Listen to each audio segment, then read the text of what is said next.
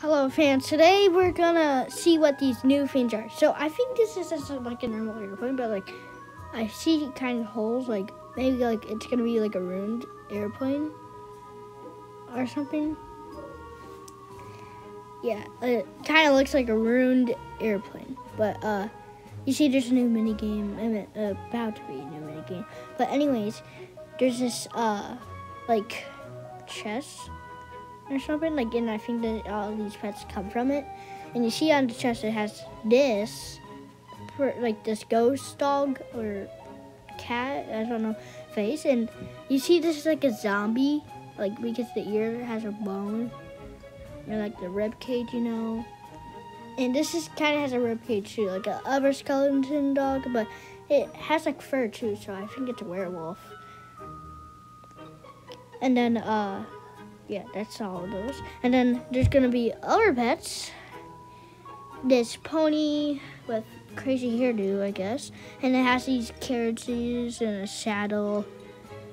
Yeah, I don't, I don't think that's a Halloween pet. Well, maybe it is. And you, can certainly tell this is a skeleton a horse or something like from Minecraft. You know, like if you play Minecraft, you know what a skeleton horse, right? Is, but and then like this is like a warrior horse or something. Oh wait, someone sent me a trade request. I'm gonna say yes. Ooh, neon fire pair. I I don't need a pair. Uh, I don't have an offer. Uh, and I don't really want it, to be honest. Uh, I think this is a warrior horse or like a Frankenstein horse or like, yeah, because like you see the tail and you know. And then if you go over here, you see this vehicle. It looks like the like last Halloween.